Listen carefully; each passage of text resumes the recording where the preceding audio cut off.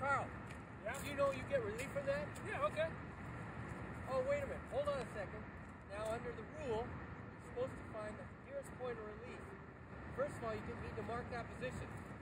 Okay. You got a tee for me? Okay, now let's find the nearest point of relief. So is it over here? That's near the hole. Oh, okay. So do I have to go back here or maybe over this way? Depends on which is the nearest point of relief. Okay, well, I think the nearest point is probably about right here. Let's find out. Okay.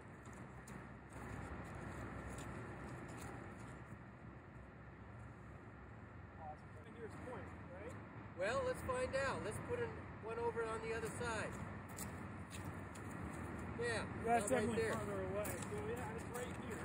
Is it near near the hole though? Let's take a look. No, it's on an angle from the hole. Very good. What do we do from there?